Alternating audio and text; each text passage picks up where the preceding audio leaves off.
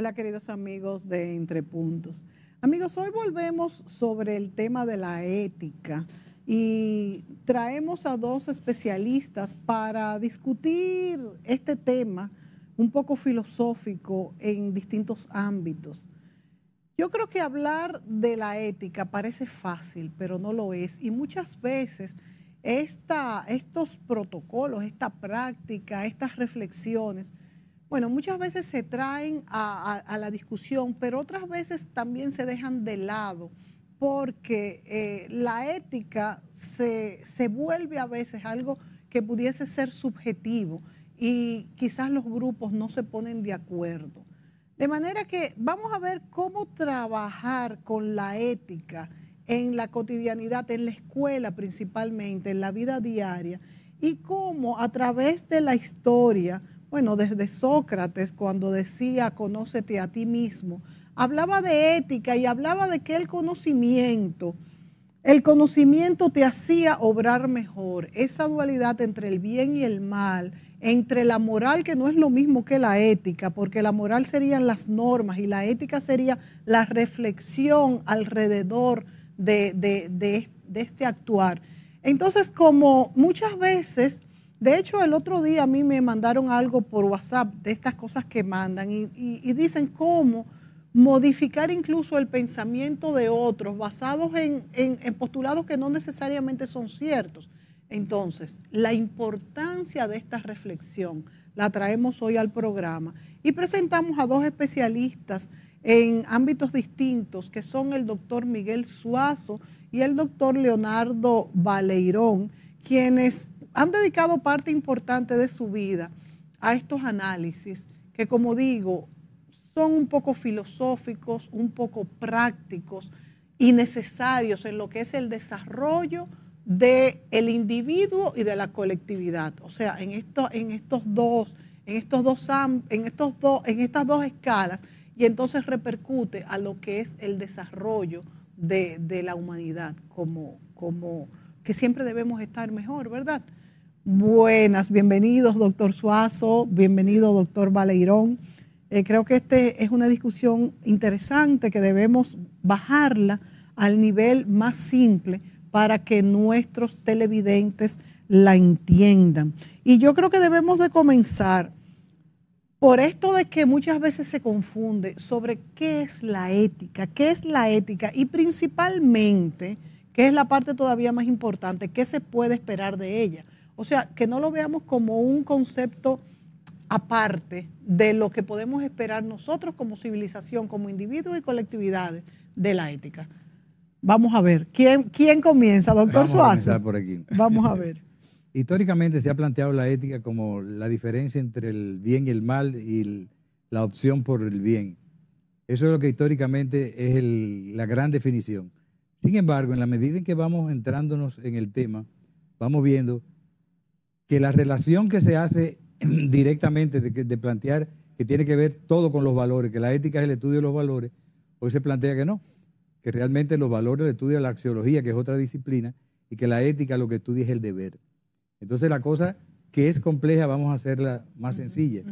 ¿Por qué es el deber? ¿Y qué relación tiene el deber con el valor? Lo que corresponde a la ética entonces es cómo hacer, cómo realizar valores. El deber es realizar valores. De manera que si yo tengo una propuesta de algo que debe ser, esa es la propuesta ética, y lo que me corresponde es añadirle valores a los hechos para que sean éticos. Quizás un ejemplo lo pueda aclarar mucho más. Si yo me pongo que el deber es ser buen ciudadano, ese es el deber ético, el debe ser. Cuando yo tomo una reacción instantánea, eh, algo que se, una acción que tomé, un accidente, choqué, agredí al otro porque choqué, eso es intuitivo. Ahí no podemos decir que hay ética, ahí lo que hay es instinto. El deber es cuando yo planifico el debe ser desde la perspectiva del bien y entonces lo acompaño de valores cada vez de, los más valores que pueda para que esto tenga la connotación que es lo que nos permitiría decir que el hecho es ético. Porque de lo contrario, y creo que es un error que hemos tenido histórico también, hemos trabajado mucho con unas definiciones erradas. Entonces le echamos la culpa todo a la ética. Desde que abrimos el periódico decimos eh, esto no es ético, este, este no es ético, este es tal, y el juicio que hacemos de valor no lo estamos refiriendo al contexto del deber. Por ahí comienza como la primera parte del debate actual. Bien interesante esa diferencia, ¿eh? bien interesante. Entonces, ¿cómo, ¿cómo lo manejamos, Leonardo? ¿Cómo lo aplatanamos a los distintos ámbitos? Y sé que el ámbito tuyo más que más has eh, eh, profundizado es la escuela. Pero ¿cómo, ¿cómo aplatanamos esto y cómo cambiamos esta concepción que todo lo atribuimos a la, a la ética? Bueno, y fíjate, el doctor Suazo ha, diferenciado en que hay muchas reacciones que ni siquiera tienen que ver con la ética, a pesar de que con el conocimiento se pueden ir eh, cambiando. El conocimiento es padre de la ética, pero ¿es suficiente el conocimiento para que una persona actúe con ese deber ético? Bueno, por supuesto que no, pero me gustaría, sin embargo, eh, iniciar justamente por lo que decías sobre el tema del deber en sentido general. Vivir en sociedad eh, es muy complejo porque vivir en sociedad es tener conciencia de que hay derechos, pero hay deberes. Es más, lo voy a decir al revés, hay deberes y hay derechos. Es decir, vivir en sociedad me obliga a hacer cosas que tienen que ver con el bien de todos, con, la, con el respeto a todos. Y eso ya implica el tema del deber. Yo digo muchas veces que, eh, y no lo digo como, como lamento, es que insistimos mucho en los derechos. Y hablamos prácticamente que esta es una sociedad de derechos. Y yo creo que sí. De hecho, se dice a sí mismo. Que son importantes los derechos, los derechos del niño, los derechos de la mujer, los derechos ciudadanos, eh, los derechos de los obreros, los derechos de los patrones. Todo eso es verdad. Pero a veces obviamos para mí el, elemento fundamental que, que posibilita el derecho, que es el deber. ¿Y cuál es mi deber social? ¿Y cuál es mi deber como ciudadano? ¿Cuál es mi deber como padre? ¿Cuál es mi deber como maestro en la universidad? ¿Cuál es mi deber como funcionario público? Mientras estuve eh, como funcionario público, ¿cuál es mi deber? Y para mí, yo siempre eh, ponía eh, primero, en mi gestión, yo siempre ponía primero mi deber mi deber como, como funcionario. Yo decía, nosotros somos personas que estamos aquí para hacer un servicio social y nos dan un dinero para que nosotros hagamos un servicio en un determinado sentido. Por tanto, es un deber fundamental. Los derechos son importantes, pero antes yo quiero poner como tema el deber. Y fíjate interesante, en educación. Educación definió hace ya unos años que habían siete competencias fundamentales curriculares y que esas competencias, de alguna manera, se filtran en todos los niveles, nivel inicial, el nivel de primaria y el nivel de secundaria. ¿Y cuál es la primera competencia fundamental que se define en el currículo? La competencia que se define como ética y ciudadana. La primera competencia. la primera competencia fundamental es ética y ciudadana. Tenemos que formar al individuo desde lo ético. Para la primaria. Desde todo, desde la inicial. Desde inicial, primaria y secundaria se permean esas siete competencias fundamentales. La primera, ética y ciudadana. Pero qué, qué, noticia tan maravillosa tú estás dando aquí en este programa, porque yo no pensé que fuese la primera que es, que es una línea transversal en lo que es la educación desde el inicio. O sea que es una muy buena noticia porque si esto está contemplado, quiere decir que buscaremos los protocolos para que se cumplan. Exactamente. Se trata entonces de uno decir, bueno, y en el nivel inicial, ¿cómo yo voy construyendo en el niño, en la niña, esa actitud ética? Fantástico eso que estás diciendo, Leo, pero vámonos primero a preguntarle al doctor Miguel Suazo.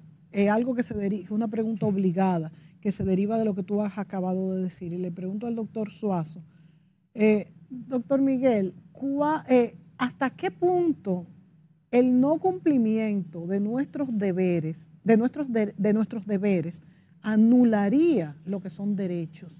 Y me voy inmediatamente, hago un, viaje y hablo de, de, que en nuestro mundo, que qué bueno que los derechos se cumplen, porque si nos vamos a otra época, vivíamos una época de barbarie donde no había derechos y donde el humano era vulnerado en una forma y de hecho nadie se enteraba porque los polos estaban tan alejados que, bueno, sabemos que las personas con poder eh, cometían grandes abusos, pero ahora, en esta época moderna, también vemos que los derechos de los delincuentes valen más que los de los, los ciudadanos que sí cumplen con sus deberes. Entonces mi pregunta es, ¿hasta qué punto es válido, hasta qué punto es válido que una persona que viola constantemente o que no cumple con sus deberes pierda sus derechos? Lo que pasa es que el deber y el derecho van ligados intrínsecamente, pero en la definición que estamos dando de ética, el deber aparece como una proyección. Por ejemplo, cuando Leo está planteando el tema de eh, las competencias, lo que nos está diciendo, el ministerio, el sistema de educación dominicano, ha planificado, ha proyectado lo que quiere obtener como perfil del egresado cuando uno sale de todo el sistema escolar. Entonces, esa proyección es lo que define que hay un componente ético. Lo que habría que ver entonces es cómo se aplica esto en la práctica, que es probablemente donde hemos corrompido, donde hemos tergiversado o donde no hemos cumplido y nos hemos quedado más en el tema de contraponer derechos y deberes. Por eso el deber es la ética. los derechos vendrían intrínsecamente explicados por el cumplimiento del deber. Lo hemos dejado más cómodo en el tema de los valores, porque entonces decimos donde, se, donde fracasó fue el que no hemos dado eh, educación en valores. Cada vez que sale un año escolar nuevo, aparecen en los periódicos un colegio anunciando, se dice especialista en valores, construimos valores. La educación pública también dice construimos valores. Y para mí ahí ha estado el problema. Nos hemos desviado más por la axiología que por la ética, que es la que tenemos como tarea para construir. Los valores nos van a dar dos grandes, una gran clasificación, lo que son valores intrínsecos y valores instrumentales. ¿Qué es lo que define el valor intrínseco? Lo que es se ha llamado el valor per se. ¿Cuál es el valor que tiene el sistema, que debe tener el sistema educativo?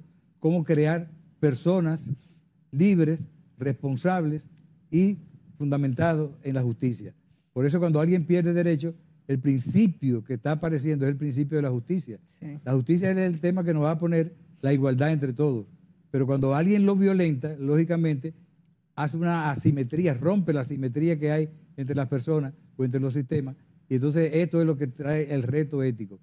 Me es eh, preocupante, podríamos decir, el histórico, el histórico que ha tenido en, los sistemas educativos. Eh, no solo dominicanos, la idea de que solamente se es ético cuando damos clases de ética. Entonces no tiene nada que ver. ¿Y qué pasa? Que nos hemos cifrado también como una tabla de salvación en la moral y cívica.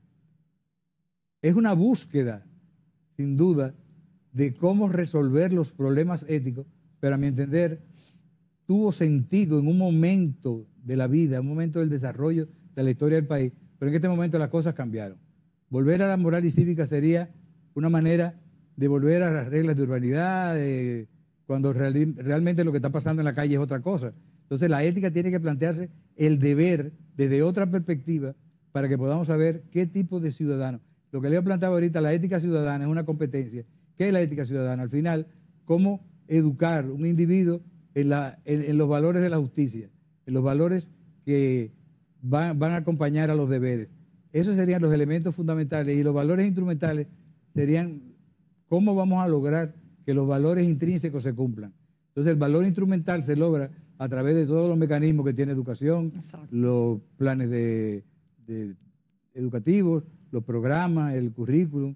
Eso sería como la parte práctica que podría corresponderse más con el comportamiento moral que con el comportamiento ético, que nos da el marco referencial de por dónde trabajar derechos y deberes. Excelente, excelente. Entonces le, eh, eh, le, pregunto al doctor Leo Valeirón, Leo, ¿hasta qué punto otros países lo han logrado? Eh, en, generalidad, porque no nos vamos a ir, a, puntos específicos, pero en generalidad otros países lo han logrado. Podríamos lograrlo teniendo este eje transversal en la escuela, que bien tú has señalado que está de primero entre, los objetivos de la educación. Entonces continúa con con la exposición sobre cómo hacerlo, lo que ha dicho el doctor Suazo, eh, eh, estos, estos, estos valores intrínsecos instrumentales, cómo a través de la ética, pues inculcarlos. Mira, yo siempre eh, planteo y, casi siempre cuando tengo reuniones con los maestros, con los directores, eh, siempre terminaba con, con esta frase. Definitivamente, el niño, la niña, el adolescente, tienen el derecho a una educación de calidad. Pero ese derecho del niño y de la niña es mi deber ético, de yo ofrecerle a él una educación de calidad. Y claro, eh, no es que yo no tenga derecho como maestro, no es que yo no tenga derecho como director, no es que yo no tenga derecho como ciudadano. Igual, no es que el niño no tenga o la niña no tenga derechos. Ellos tienen derechos también, como tienen deberes. Como tienen deberes. El niño tiene, la niña tiene, el estudiante tiene el deber de hacer las cosas que tiene que hacer, las cosas que, que se indican que hay que hacer para colaborar, contribuir con su formación, con su desarrollo personal. Pero al mismo tiempo que él tiene esos, esos deberes, yo como maestro tengo el deber de crear todas las oportunidades para que el niño se desarrolle plenamente. Por ejemplo, cuando eh, Suazo decía del tema de, la, de, que al final de cuentas, eh, eso tiene que verse en la práctica, en la, en la realidad concreta del, del, quehacer de la escuela. Por ejemplo, yo digo que, en, los primeros grados, en el nivel inicial y en los primeros grados de primaria, tenemos que centrarnos, yo le llamo de esa manera, eh, en una pedagogía de la ternura. ¿Por qué una pedagogía de la ternura? Porque yo digo, somos seres sensibles, somos seres tiernos, somos seres que tenemos que ir aprendiendo a, conocer primero y después a manejar nuestras emociones, nuestros sentimientos. ¿Por qué? Porque nuestras emociones y nuestros sentimientos son los que van a mediar en el comportamiento con los demás. La escuela es quizás la primera oportunidad que tiene una niña, que tiene un niño, de comenzar a vincularse con otros niños y otras niñas que son distintos a él que tienen también eh, a, sus padres que son distintos a los padres que yo tengo. Y entonces se empieza una dinámica de relaciones donde hay que lograr que ese niño y esa niña empiecen identificando, construyendo, conociendo cuáles son esas interioridades, cuáles son esas emociones, cómo hablar de ella, cómo dibujarla, cómo escribirla, cómo eh, ir conociéndose a sí mismo al mismo tiempo que conociendo a los demás. A mí me gusta mucho la, frase de Carl Jung que dice, recuerda que cuando tú tocas, tú puedes dominar toda la teoría, puedes dominar todas las técnicas, eso es importantísimo y eso yo lo aplico en el ámbito docente. Pero recuerda que cuando tú tocas un alma humana, tú eres apenas otra alma humana. Y eso es la educación. La educación es un proceso dinámico en donde muchas almas confluyen, muchas almas confluyen. Y en, ese, en esa confluencia es que comenzamos a aprender a ser personas y, a aprender a ser ciudadanos y ciudadanas. Para mí entonces la escuela tiene que arreglar las cosas de tal manera que ese proceso esté dirigido justamente en ese sentido, de yo poder eh, descubrirme como, como persona, pero al mismo tiempo descubrirme como persona que se, que se vincula con otro y se hace persona social. O sea, no solamente mi, lo que pueden ser mis, eh, mis particularidades, no, es también lo que son las particularidades del otro. Yo recuerdo, y voy a poner una anécdota que, que quizá viene al caso. El, el, segundo hijo nuestro eh, eh, tenía una cosa muy curiosa cuando, le, cuando, le, cuando él hablaba de lonchera él no le gustaba que le pusieran galletitas ni jugo. Él decía, ponme arroz, habichuela y carne. ¡Ay, qué bello! En primaria, arroz, y carne. Pero después nos enteramos que el arroz, la habichuela y carne, ese era, ese era el compartir que tenía con sus otros compañeros. ¡Ay, qué bello! Entonces yo decía, Dios mío, ¿pero qué es esto? ¿Y qué tú haces? Dice, no, no, nosotros nos juntamos, entonces ponemos el arroz, la habichuela, la carne, y ellos ponen la galletita y ponen el pan. Lo de él era arroz, habichuela y carne. Lo de él era arroz, habichuela y carne. Él se, él se adueñó de, eso, de, compartir eso. A él no le gustaba que le pusieran galletitas. No, no, arroz, bichuelo y carne. Pero después él cobró sentido cuando nosotros comenzamos a darnos cuenta que había una dinámica entre un grupito para compartir todo aquello. Entonces yo digo, eso es educar. Eso es educar en el compartir. eso es educar en yo querer compartir lo, que, lo que tengo con el otro y el otro comparte conmigo. O sea, Para mí eso es fundamental, porque eso es educar. también están otras cosas, los contenidos matemáticos, y eso es importante, y los contenidos de la no ciencia. Es lo, no es lo primero. lo primero, lo primero porque lo otro se monta sobre eso. Exactamente. Y entonces yo le pregunto al doctor Miguel Suazo, Miguel, esto que Leo habla es tan verdadero y como que lo sentimos y nos transportamos incluso a cuando éramos pequeños, éramos estudiantes, yo creo que es inevitable esa relación, pero también es tan difícil de plasmar. Y usted decía ahorita que la moral y la cívica no es la ética, o sea, y no solamente cuando estamos dando clase de ética somos éticos. Entonces, en la escuela se sistematizan programas, protocolos, y muchas, a mí no me gusta mucho esta cuestión de, sistematizar, pero no hay otra forma de hacerlo, porque entonces se deja a, quizás a un profesor universitario ya sí, o, de bachillerato al final, pues ya sí está tratando con muchachos formados y es más fácil que ellos particularicen. Pero cuando hablamos de primaria, ¿cómo hacer protocolos que esto pueda plasmarse en qué hacer para formar un individuo, un individuo pequeño en ese momento, ético? ¿Cómo dar, cómo transmitir esto que, que dice el doctor Leo Valerón? Yo creo que el, el diálogo inicial que tiene que haber en cualquier sistema, en este caso hablamos del sistema educativo, tiene que ser de cómo vamos a plasmar el elemento ético. No cómo en cada actividad aparece la ética o la palabra ética, sino en el diseño del sistema. Eso. Que es lo que queremos hacer. Porque si dijimos, hace un rato que lo que define la ética es el deber, empezamos a construir cuál es el deber que cuando el egresado haya terminado, el estudiante haya terminado y egrese, haya completado tal y tal, tal programas. De manera que los hechos son los elementos prácticos, los, los elementos técnicos. Es decir, yo no podría hablar del sistema educativo porque no soy educador, pero eso es lo que le corresponde a la ética. Partir de los hechos del sistema educativo, ¿cuál es su propósito? Decíamos que la ética lo que hace es proyectar propuestas, que no es, la ética no es el ahora, el es, sino el debe ser.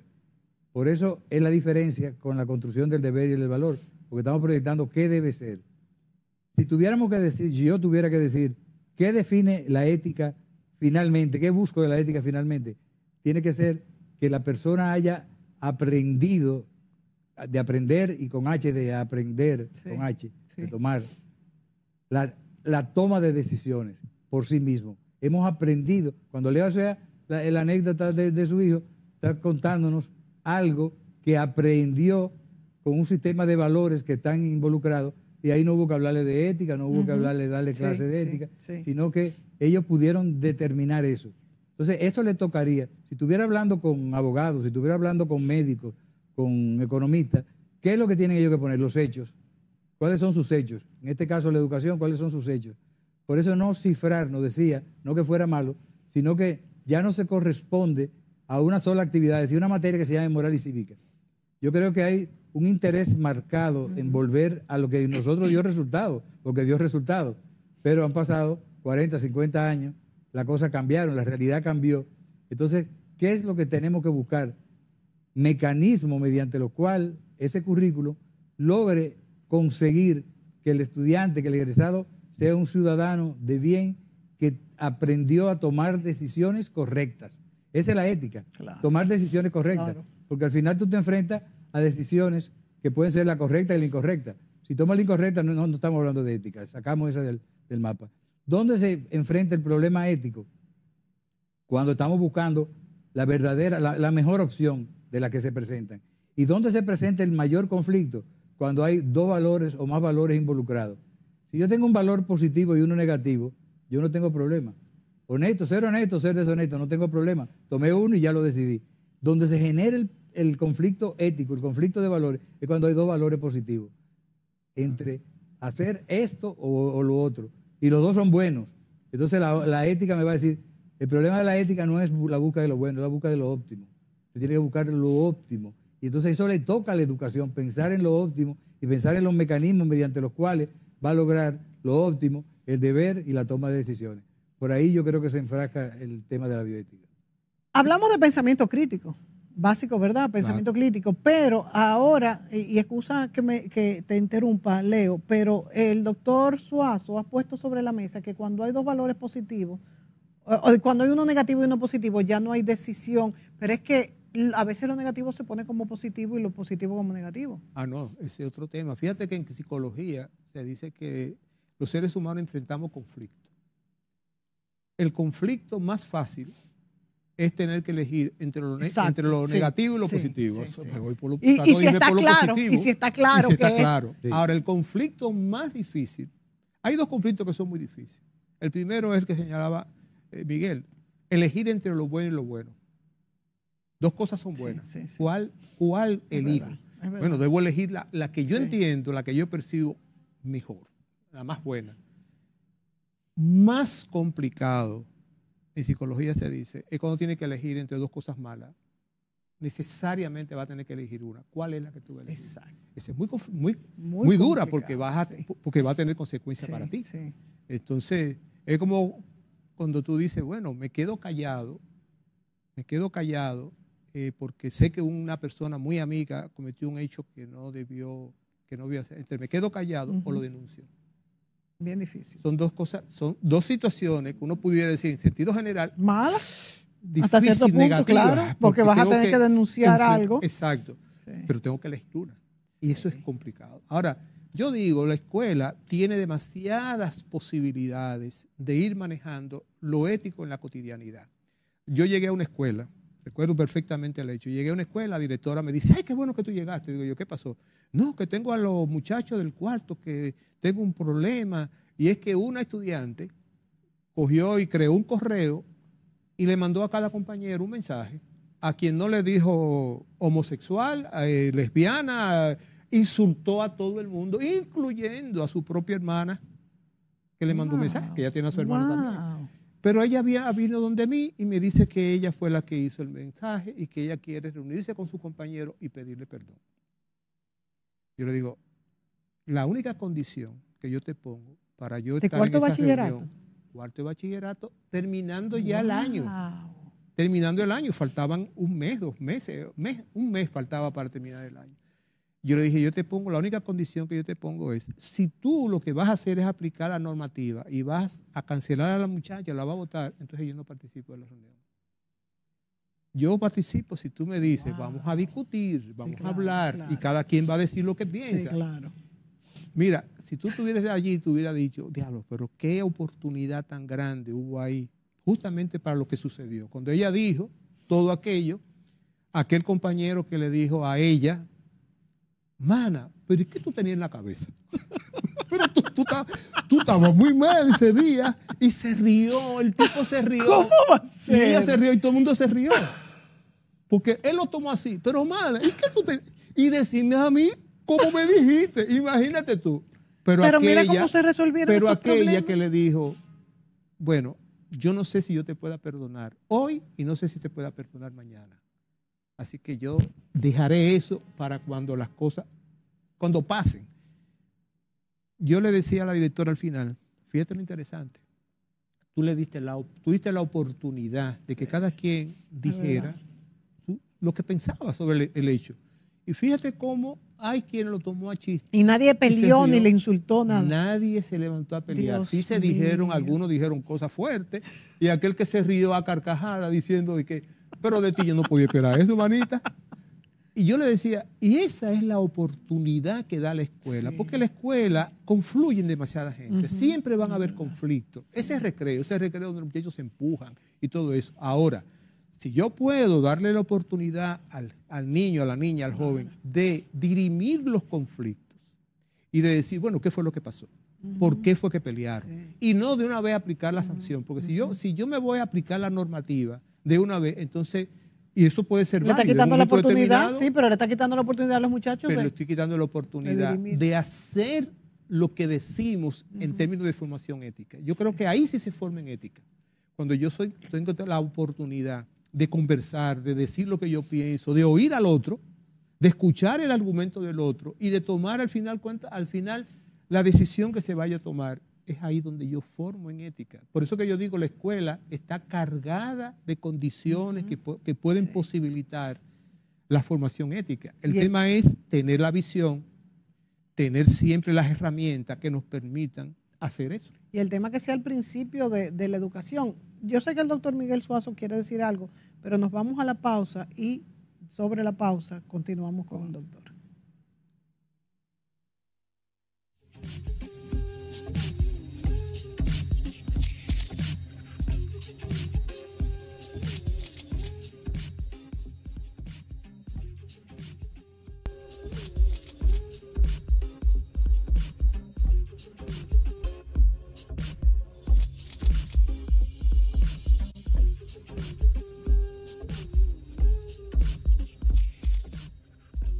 Amigos, podríamos decir que la sociedad moderna se oscila, ¿verdad? Se debate, se, adentra en el discurso sobre la necesidad de brindar derechos, o sea, permitir que, el individuo tenga derechos y que cumpla sus deberes.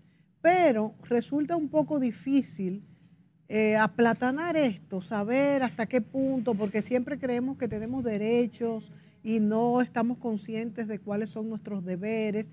Y hoy estamos con los doctores Miguel Suazo y Leonardo Baleirón hablando precisamente de que la escuela es el escenario más apropiado para iniciar este, esta concientización sobre qué es la ética, qué son esos derechos y deberes, qué es el mal y el bien y cómo forjar un pensamiento crítico que nos ayude a vivir en sociedad de manera que seamos aceptados y aceptemos a los que nos rodean.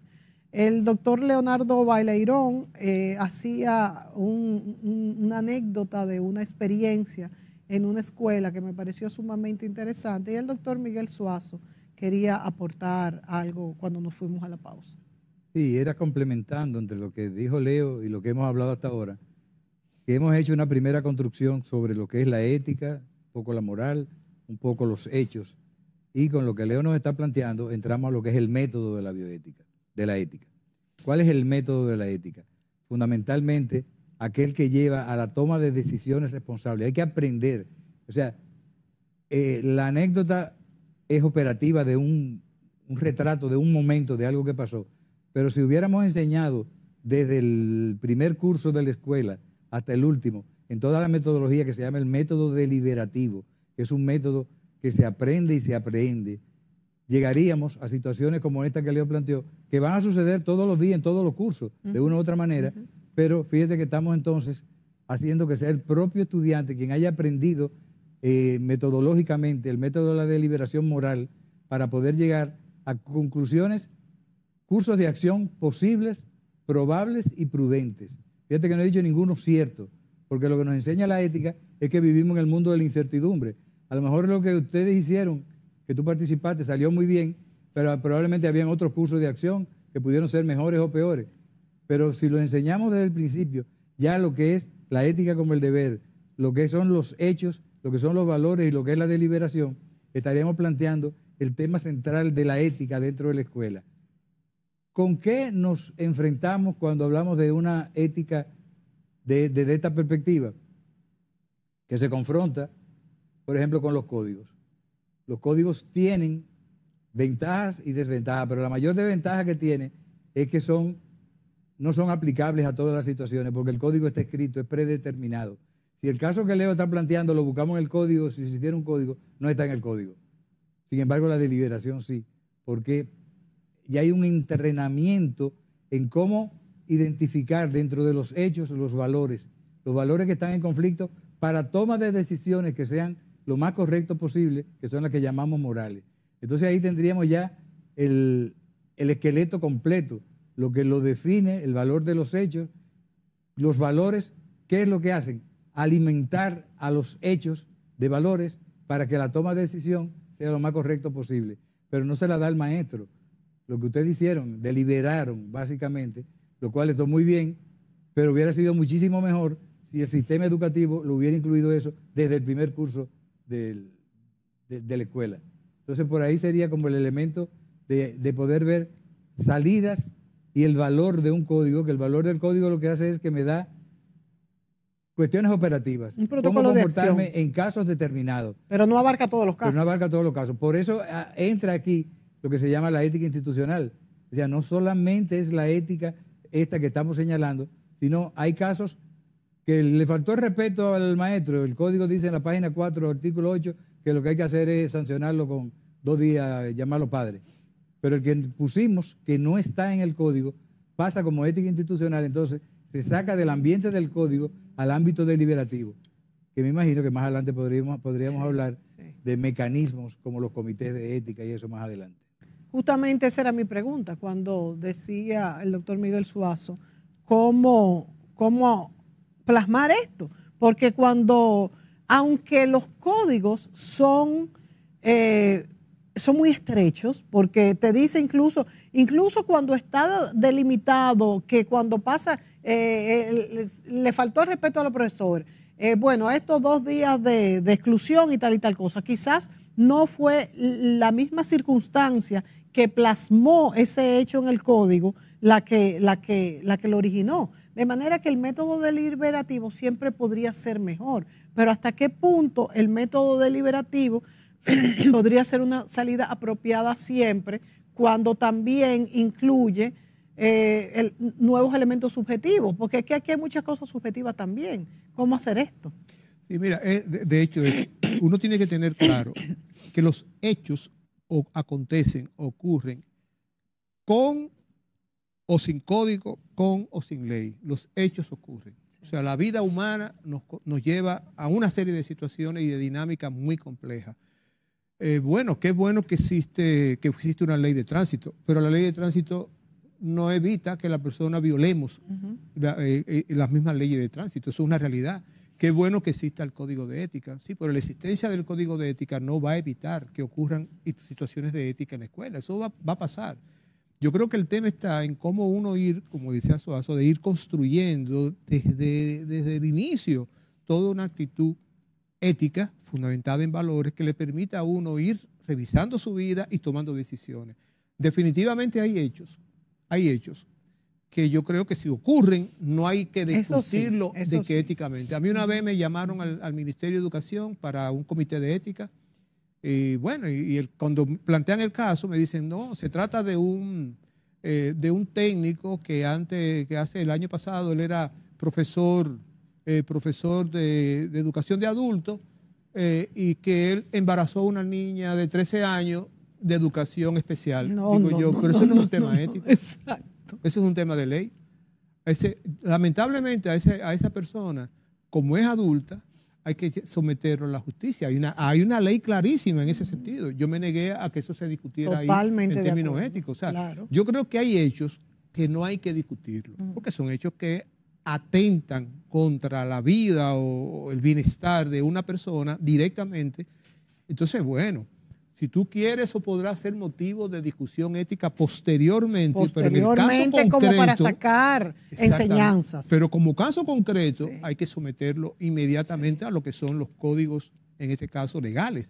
Entonces, yo no tengo la menor duda de que la escuela en su dinámica nos da muchas oportunidades de ir construyendo un pensamiento y un actuar ético.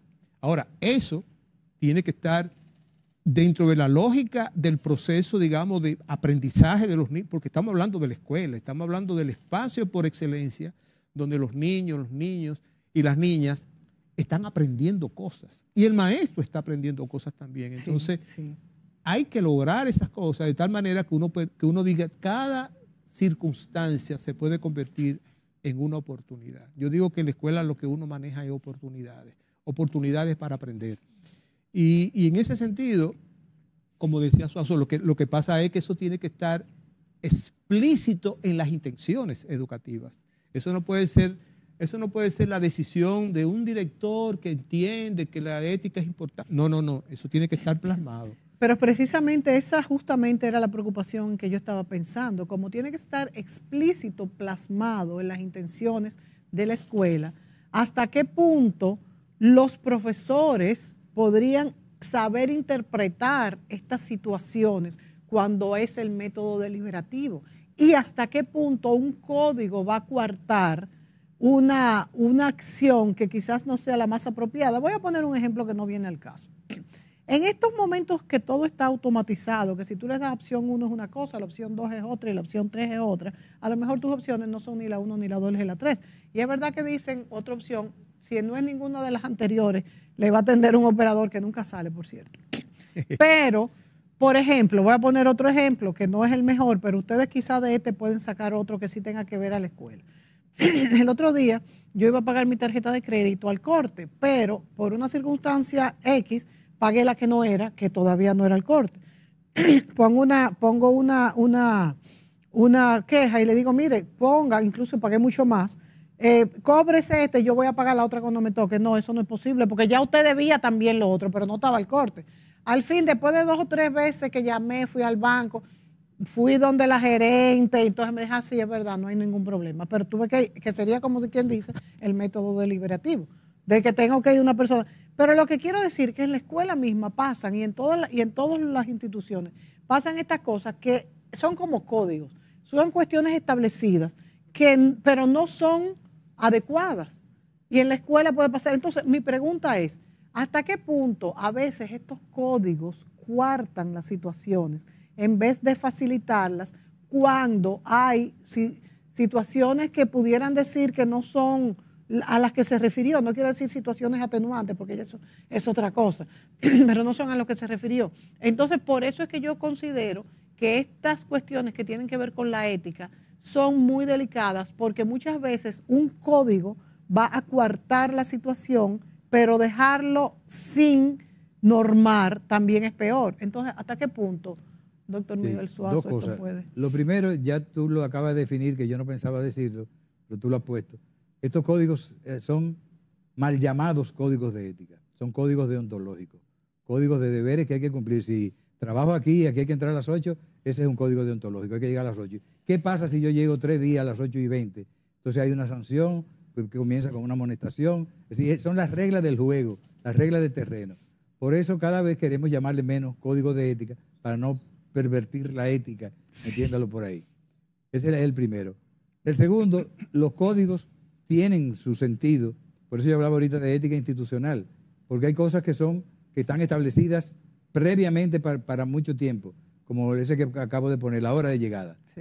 Sin embargo, se presenta un caso como el que plantea y dice, ¿y dónde lo dice en el código? No, que no lo, no lo dice ni lo puede decir. Por eso tiene que ser el método deliberativo, pero tienen que haber instancias, porque tú dices, ¿quién, quién va a hacer el método eh, deliberativo? Exacto. Tiene que haber instancias que en este caso, y hace muchos años lo hemos propuesto eh, en otros escenarios, de formar comités de ética en la escuela. Si el estudiante participa en los comités de ética, que pueden ser multidisciplinarios, que esté el profesor, que esté el, de cualquier asignatura, representante de los estudiantes, en la medida en que ellos van aprendiendo el método deliberativo, porque aquí estamos hablándolo como paquete, el método deliberativo, pero es un método. Es un método que, nace con Aristóteles, de que plantea el tema de que la salida que siempre buscamos son los extremos. Aristóteles, dice, no vayamos a los extremos porque nunca vamos a encontrar solución moral en los extremos, sino en el justo medio de las cosas. Claro. Y ese es el método deliberativo. Cómo aprender a buscar el justo medio de las sí, Señor. Entonces sería complementario a que existe el código de la escuela, pero eso no me va a resolver el caso que tú planteaste de la violación. No me lo va a resolver. La deliberación probablemente no me lo va a resolver. Lo que me lo puede resolver es haber comenzado al principio de la escuela. Estamos hablando ahora de cuarto bachillerato, el último año de bachillerato. Ya es un individuo que ha pasado 8, 10 años en la escuela en un mismo método y que ya asumió la ética como parte del deber de lo que tiene que hacer, que es la corrección moral de los hechos. Yo creo que el solo hecho de que exista un comité de ética donde también puedan participar los estudiantes, ya eso le ayuda a un pensamiento crítico, que es lo que queremos con el cuestionamiento de deberes y derechos. Vámonos a la pausa y luego yo quisiera que el doctor Leo Baleirón nos aterrizara esto en lo que está pasando, en lo que queremos que pase y en lo que podrá pasar en cuanto a, a comité de éticas, eh, de ética y, y este pensamiento crítico en las escuelas. Volvemos de inmediato.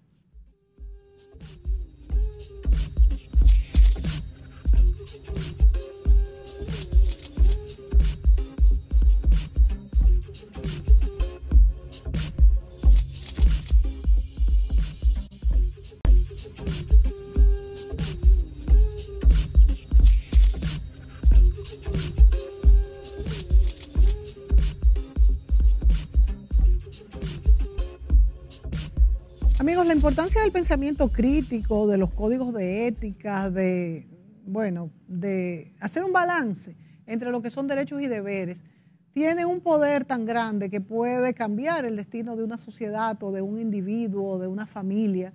De manera que creo que no debemos cansarnos en cómo debemos influir o cómo debemos imponer, hasta imponer no es la palabra, pero hasta esa me atrevería a usar. El doctor Miguel Suazo, el doctor Leo Valerón nos acompañan en este programa y hablamos de cómo desde la escuela es el escenario ideal, ya que comienza el niño muy pequeño y termina ya un adulto, es el escenario ideal para enseñar lo que el doctor Suazo le llamaba el método deliberativo. Leo, tú como especialista en, en la escuela, me gusta esa palabra, no en educación, ya se oye diferente. Claro. Especialista en la escuela, como maestro, que bueno, que somos todos los que nos gusta esto. ¿Cómo aterrizar todo esto para que se dé, para que pase? Yo creo que lo, que Miguel planteaba es la clave. Yo creo que la, la ética debe constituirse en una regla de juego permanente de la escuela desde que yo entro a la escuela en, el nivel inicial, en la primera infancia, donde yo aprendo a, ver las cosas, analizar las cosas, como tú dices, críticamente, de que yo sea capaz de darme cuenta cuál fue mi error y, que, bueno, cómo, cómo yo puedo cambiar o ayudar a que el otro compañero, la otra compañera también vea su error y pueda cambiar. Y yo creo que ese es un tema que en los diferentes niveles, cada nivel con las herramientas que tiene lo puede ir haciendo, dirimiendo todo lo que son las circunstancias que van a ocurrir en la escuela. Por ejemplo, yo recuerdo, eh, recuerdo y, fue una anécdota que la viví yo personalmente porque eh, el último de mis hijos era muy ingenioso. Y la maestra un día estaba revisando las tareas, los cuadernos, y él cogió la mascota y la tiró por la ventana. Y cuando, cuando la maestra llegó, él le hizo un show. Se me quedó la mascota, pero mañana se la traigo y no sé qué. Y cuando yo lo voy a buscar, que yo lo veo muy orondo, como muy sonreído, le dije, ¿qué pasó? Y él me contó la anécdota. Yo le dije, mira, vamos a hacer una cosa. Tú mañana le vas a contar a la maestra tu genialidad. Tú se la vas a contar y le vas a decir lo que tú hiciste. Y la maestra va a decidir qué hacer, qué hacer. Tenlo claro, yo no voy a preguntar. Ahora, tenlo claro que me, van a, que me lo van a decir. Y efectivamente. y lo hizo. Lo hizo. Wow. Lo hizo. Y entonces la maestra se rió, que sé yo qué, pero también le puso su, sanción. Y yo le dije, y yo recuerdo hace ya pocos años en casa, en una conversación que teníamos ahí en familiar, en los desayunos de los domingos, y, que yo le preguntaba a los muchachos, bueno, ¿cuáles han sido los valores principales que ustedes han encontrado en esta, en esta familia? Y él decía, papi, el principal valor que yo, varios, pero el principal es la responsabilidad. Yo he aprendido a ser responsable. He tenido que aprender a ser responsable. Y yo, y yo creo que sí, que la escuela tiene demasiadas oportunidades para eso. Ahora yo tengo que construir esas, esas alternativas de poder ir continuamente viendo las cosas, analizando las cosas, confrontando las situaciones, confrontando las actitudes y los comportamientos, porque eso es la realidad. Leo, esa no es la realidad. E, esa es la realidad, sí, pero ahora yo, mira, pisamos palabras contrarias, pero esa es la realidad de la escuela, es verdad, pero esa no es la realidad que vivimos. Ni los padres están preparados para hacer eso que tú hiciste con tu hijo, ni tienen el tiempo teniendo dos y tres trabajos, ni los profesores están preparados, ni... Entonces, ¿qué hacer ante esto? Claro que eso es lo que hay que hacer, eso que tú estás planteando, pero me preocupa que no estamos preparados ni conscientes mucho porque una cosa es estar, primero nace la conciencia y después la gente se prepara para. Mira, yo, ahí hay un tema muy complicado, que es el tema de, la familia y la escuela. Eh, bueno, yo no puedo esperar que la familia esté preparada para yo iniciar lo que yo tengo que hacer en mi marco de, situaciones, en el marco de la escuela. Yo no puedo esperar eso. Bueno, lo mejor fuera, lo mejor fuera que yo tenga una escuela donde cada reunión, todos los padres acuden a la reunión y ahí hablamos, discutimos, reflexionamos juntos. esa sería la mejor, el mejor escenario. El escenario real Es lo que una vez me decía un director del liceo, pero es que la mayoría de las familias que vienen aquí eran de Monteplata, ellos trabajan en, la, en, el Santo Domingo y ellos no vienen a las reuniones. Exacto. O sea, las que vienen son las abuelas, los que vienen son las hermanas, los que vienen son otras personas, a veces la vecina, el que viene representando. Y gracias a Dios que la vecina viene. Pero esa es la realidad. Sí. Y esa es la realidad con la que tú tienes que trabajar. Tú tienes que ir en a ese niño, ir formando en él una nueva manera de mirar las cosas y de enfrentar las cosas, independientemente de si la mamá, el, papá y la mamá está o no está. Eh, y eso es una realidad que yo creo que el director tiene que enfrentarlo. Para eso está dirigiendo la escuela.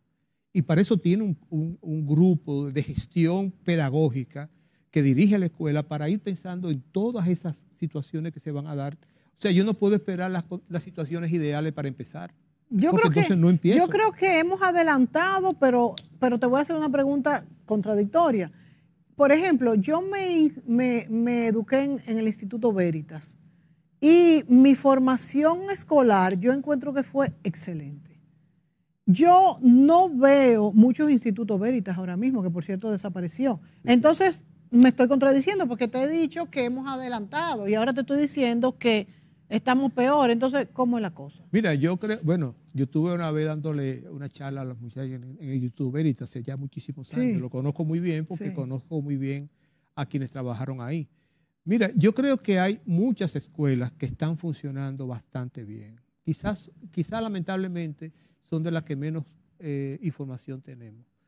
Tú has visto esa escuela eh, que se llama, que está en el, en el, en el basurero de Rafael, que fue galardonada recientemente, no recuerdo el nombre ahora de la directora, yo la conozco, eh, pero ahí las cosas están funcionando bastante bien. Porque que tú ves un sitio bien pobre. Esa directora sacó a los muchachos del basurero.